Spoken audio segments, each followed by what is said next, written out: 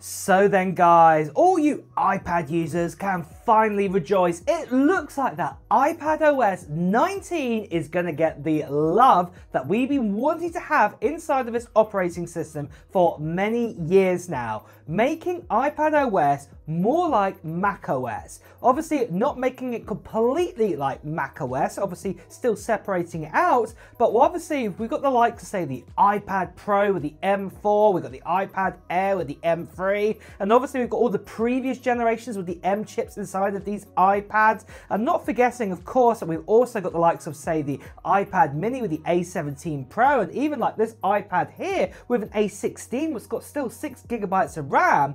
We've been wanting to have much more from the operating system because the hardware is definitely there and definitely giving us enough power, but it just seems like we've just got a modified version of iOS. And essentially that is what iPad OS has been like. But like I said, the great news is it looks like we're going to be getting some big upgrades with it. And in fact, there's four of them that I want to talk about today. Starting out with number one.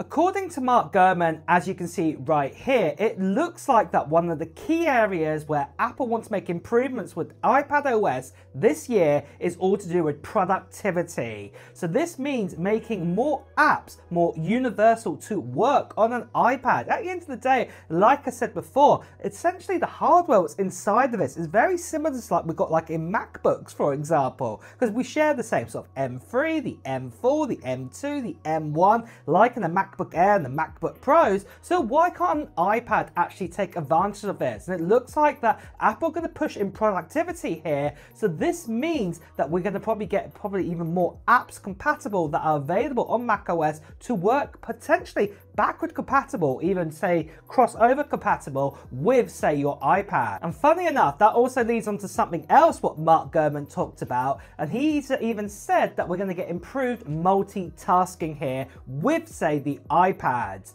And so what this essentially means is if you've tried to do multitasking right now with an iPad, it's a little bit complicated to actually enable. Obviously, if you're doing it day in, day out, all the time, you probably get used to it, how it works and everything. But to be honest, it's not the easiest of things to work with. So it looks like finally that you know Apple are going to make say multitasking even easier to work on your iPad. Maybe it might work a bit more like say a Mac OS kind of sort of version where for example that you'll have say the background and maybe sort of separate windows or something like this. So this does look like it's quite exciting that actually Apple are going to make some upgrades here. And funny enough that also leads on to the third upgrade that we've heard about from Mark Gurman again confirming that with iPad OS 19 that we will also be getting say a better sort of stage management sort of center that sort of area. Remember that we had um, Stage Manager introduced a couple of years ago, and to be honest, it wasn't the best out there. It was, you know, it's okay that you can sort of flip around with your apps and things like this,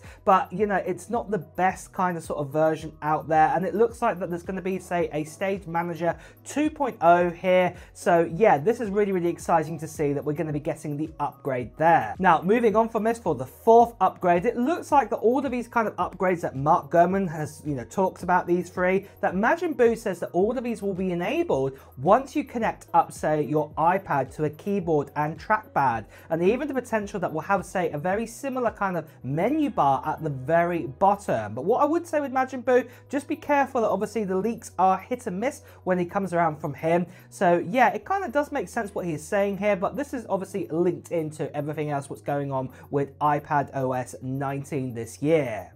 But if you're still a fan of macOS, well, I have some good news because of the giveaway we're doing on this channel for this right here. That's right, guys. At the end of June time, so after WWDC, I'm going to be giving away this MacBook Air M4 that you see right here to one lucky subscriber on this channel. And you can still enter into this giveaway right now all you have to do is just put down into the comments below of what technology devices you're hoping to get in 2025. This could be Apple related or not, so it could be say a new iPad, it could be a new iPhone, it could be say a DJI drone, or maybe it's going to be the Nintendo Switch 2, what also comes out in June time. Well, let me know in the comments below. And the second part of the giveaway will be happening near the end of June time where I'll be making a video giving you more details about it, including when I'm going to do the live stream to give us away. And also there will be a form to fill in too around that time. So you won't want to miss out on that video. So the best thing that you can do right now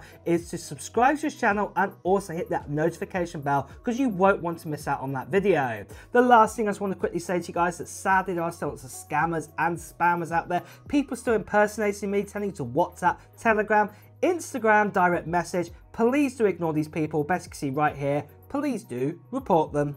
So next of all then, what about the availability of this new iPad OS 19 and also what devices are most likely going to be compatible? Well personally in my opinion, even it's not been official yet, I think that the next version of iPad OS, the bare minimum device that will probably be able to run on is probably one of these that you're seeing right here. This here obviously is the, you know, the updated 11th generation iPad with the A16 inside of it. And I also believe, say, the likes of, say, the iPad mini with the A17 Pro will also be compatible. And also the likes of all of the iPad Pros and iPad Airs that have an M chip inside them. So M1 all the way up to M4. They will also be compatible. But personally, I do think that the likes of, say, the ones with the iPad Pro, what they had the A12 a12X, the A12Z inside of it, they probably will not be compatible and also older iPad minis and I'd even say the 10th generation iPad, what has now been retired, you know, from being sold, probably won't also get the update for this. But when the likelihood we're going to get it is obviously the first beta is probably going to come out on the likes of June the 9th, the same day we're getting the first day of WWDC 2025. But personally, I would not download that version because it's probably going to be full of bugs. But you know, you can get that. There'll be a developer sort of beta out there. But I would probably be waiting around at least for one or two public betas. And more than likely, the first public beta will come out the end of June time, 2025. But I would probably be waiting for a public beta, say the end of July kind of time at the earliest if you're going to use it on your primary device. Because like I said it will be full of bugs. But if you want to play it safe the best time will be to update is when it does officially come out what will probably be in September time 2025 what is really exciting to see. But with this then guys are you excited for iPad OS 19 do you think at last it's going to get the love that it deserves? Well let me know your thoughts in the comments below and with that as well guys it's time to wrap up this video too so if you have enjoyed watching it please do press the like button. And also, if you want to hear the latest Apple news, reviews, and comparisons, make sure you subscribe to this channel and also hit that notification bell. Until next time, guys, I'll see you really soon. Take care. Bye bye.